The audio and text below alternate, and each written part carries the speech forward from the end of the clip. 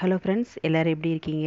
Welcome to Varni food channel இன்றைக்கி நம்ம இந்த வீடியோவில் ரோட்டு கடை அப்புறம் இட்லி கடையிலலாம் கிடைக்கக்கூடிய மசாலா மொச்சை வீட்டில் எப்படி டேஸ்ட்டாக பண்ணுறதுன்னு பார்க்கலாம்.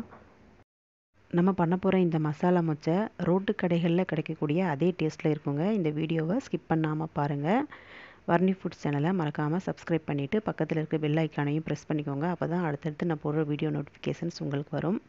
இப்போ வீடியோக்குள்ளே போகலாம் நான் வந்து கருப்பு மொச்சையில் தாங்க இந்த மசாலா மொச்சை செய்ய போகிறேன் நீங்கள் வெள்ளை மொச்சை கிடச்சா அதுலேயும் செய்யலாம்.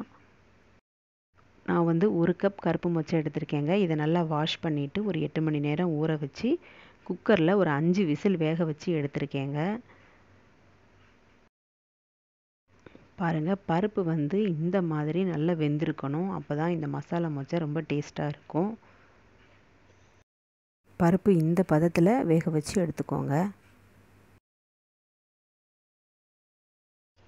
அடுத்ததாக இந்த மொச்சை செய்கிறதுக்கு தேவையான மசாலா பொருட்களை எடுத்துக்கலாம்.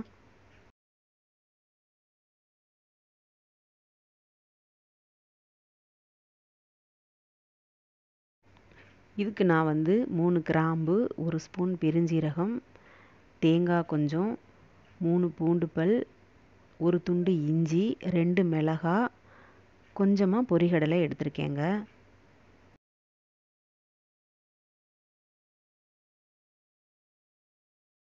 இப்போது இந்த பொருட்களை எல்லாம் நம்ம வந்து மிக்சி ஜாரில் சேர்த்து அரைச்சி எடுத்துக்கலாம்.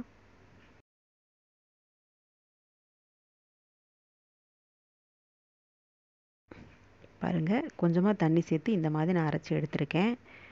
இப்போ வந்து ஒரு பேன் சூடு பண்ணிவிட்டு அதில் எண்ணெய் சேர்த்துக்கலாம். எண்ணெய் சூடானதும் கடுகு உளுந்தம்பருப்பு ஒரு ஸ்பூன் சேர்த்துக்கோங்க. கடுகு பொரிஞ்சதுக்கப்புறமா ரெண்டு பெரிய வெங்காயம் நீல வாக்கில் கட் பண்ணி சேர்த்துக்கலாம். இப்போ இந்த பெரிய வெங்காயத்தை ஓரளவு வதக்கி விட்டுக்கணும். ரொம்ப வதங்கணும்னு அவசியம் இல்லை.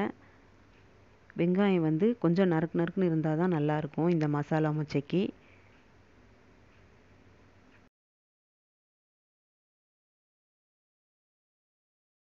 இது கூட ரெண்டு மிளகாய் புடியை கட் பண்ணி சேர்த்துக்கலாம். நம்ம ஏற்கனவே மிக்சியில் மசாலா பொருட்கள் அரைக்கிறப்பையும் ரெண்டு மிளகாய் சேர்த்துருக்கோம். அதனால் நீங்கள் உங்கள் காரத்துக்கு தகுந்தாப்பில் சேர்த்துக்கோங்க.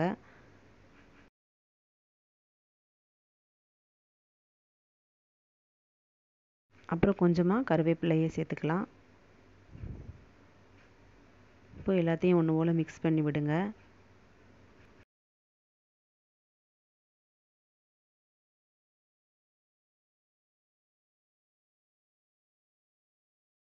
பாருங்கள் வெங்காயம் வந்து இந்த அளவுக்கு வதங்கினா போதும். இப்போது இதில் வந்து அரை ஸ்பூன் மஞ்சள் தூள் சேர்த்துக்கலாம். தேவையான அளவு உப்பு சேர்த்துக்கலாம். அடுத்ததாக நம்ம மிக்சி ஜாரில் அரைச்சி வச்ச பேஸ்ட் இருக்கும் இல்லையா அதை சேர்த்துக்கலாம். இப்போது மிக்சி ஜாரில் லேசாக தண்ணி ஊற்றி அலசி அதையும் இதில் சேர்த்துக்கலாம். மசாலா சேர்த்துட்டு வெங்காயத்தையும் மசாலாவையும் சேர்த்து நல்லா ஒன்று போல் மிக்ஸ் பண்ணி வதக்கி விட்டுக்கோங்க. இந்த மசாலா மொச்சை செய்கிறது ரொம்ப ஈஸி தாங்க. அவ்வளோ ஒன்றும் கஷ்டமே கிடையாது. இப்போ இதை வந்து நம்ம ஸ்கூல் விட்டு வர்ற பசங்களுக்கு நம்ம ஸ்நாக்ஸ் செஞ்சு ஸ்நாக்ஸாக செஞ்சு கொடுக்கலாம். குழந்தைகளுக்கு வந்து இந்த மசாலா மொச்சை ரொம்ப பிடிக்கும்.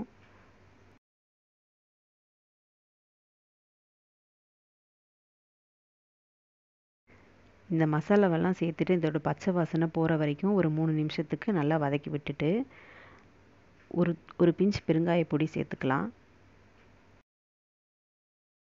இப்போ இந்த மசாலாவோட பச்சை வாசனை எல்லாம் போயிருச்சுங்க. இப்போ வந்து நம்ம ஏற்கனவே வேக வச்சு எடுத்து வச்சுருக்கிற மொச்சப்பருப்பை இதில் சேர்த்துக்கலாம்.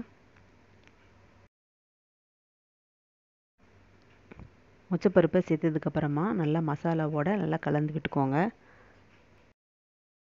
இந்த மசாலா மொச்சை கெட்டியாக வர்றதுக்கு வந்து நான் பொரிகடலை சேர்த்துருக்கேங்க. கடலை மாவு சேர்க்க விருப்பம் உள்ளவங்க கடலை மாவும் சேர்த்துக்கலாம். ஒரு மூணு நிமிஷத்துக்கு மொச்சப்பருப்பை சேர்த்ததுக்கப்புறமா நல்லா வதக்கி விட்டுக்கணும்.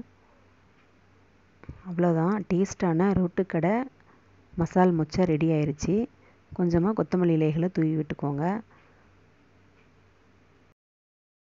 ஒரு தடவை டீ டைம் ஸ்நாக்ஸுக்கு இந்த மாதிரி செஞ்சு பாருங்கள் செஞ்சு பார்த்துட்டு எப்படி இருக்குன்னு கமெண்ட் செக்ஷனில் ஃபீட்பேக் கொடுங்க. அவ்வளோதான் ஃப்ரெண்ட்ஸ் மசாலா முச்சை எப்படி செய்கிறதுன்னு இந்த வீடியோவில் நம்ம பார்த்தாச்சு. இந்த வீடியோ பிடிச்சிருந்தா வீடியோவுக்கு ஒரு லைக் கொடுத்துருங்க. வர்ணி ஃபுட்ஸ் சேனலை மறக்காமல் சப்ஸ்கிரைப் பண்ணிவிட்டு பக்கத்தில் இருக்க பெல் ஐக்கானையும் ப்ரெஸ் பண்ணிக்கோங்க. மீண்டும் அடுத்த வீடியோவில் சந்திக்கலாம். நன்றி வணக்கம்.